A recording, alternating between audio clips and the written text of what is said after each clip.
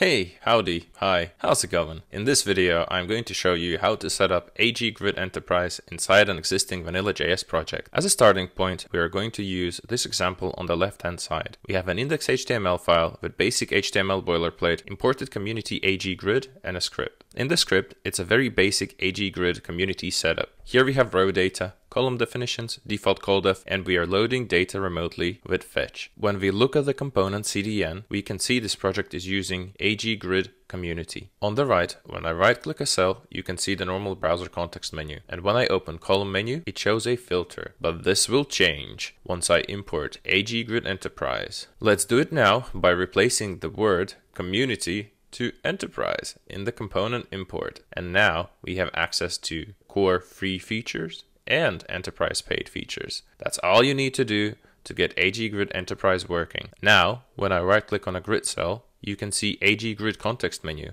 which can be customized.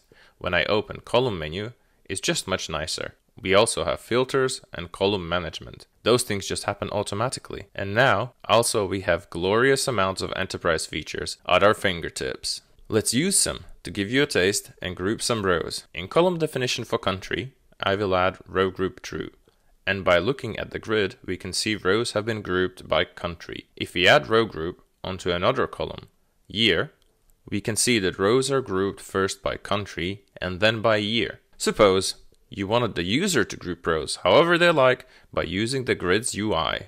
To do that, let's remove row group true in column definitions, add enable row group true in default col def to apply this property across all columns, and UI drop zone for the column grouping by adding row group panel show always in our grid options. Now, if we refresh our view, we can see the drop zone at the top, and I can drag any column into the drop zone to group by. There are heaps and oodles of enterprise features. Unfortunately, we don't have time to go through all of them in this video. To see what they are, go to our website, click on documentation and select the section you need. And you will notice that some of the features have a red E symbol beside them. It means that feature is only available in AG Grid Enterprise. If you want to use AG Grid Enterprise in your application, then you need to get a license key from us. And if the license key is missing, you'll get this error message in the console.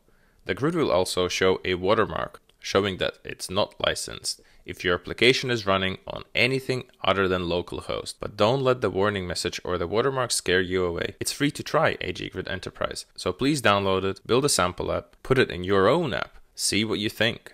If you don't want the warning message or the watermark to appear in your trial, then get in touch and we'll give you a trial license key. Just email info at aggrid.com. And when you've made a decision that AG Grid Enterprise is right for your app, then again, please get in touch by email info at aggrid.com and we'll happily sell you a license key.